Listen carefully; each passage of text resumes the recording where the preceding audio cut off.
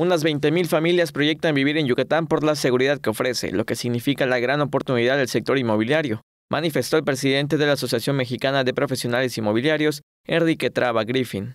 Las expectativas es que la gran mayoría de los interesados en radicar en la entidad son de alto perfil económico con preferencia por residencias nivel plus.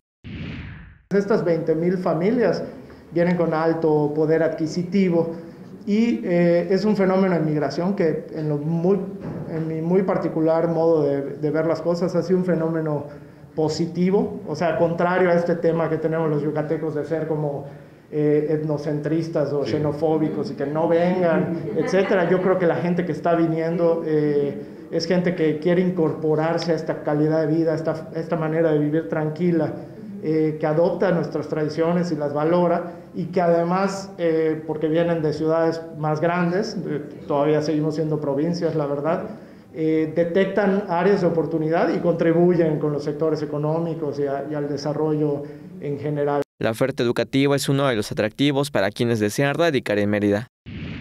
Las familias que vienen de, de, de, de ciudades más grandes eh, traen un tema de, eh, de, de, buscar una filosofía educativa en específico para, para sus hijos.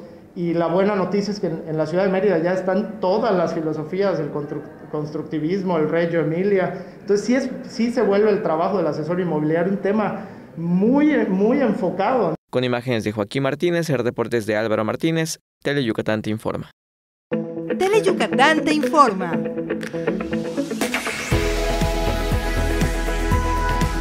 Lunes a viernes, 8 de la noche. Síguenos.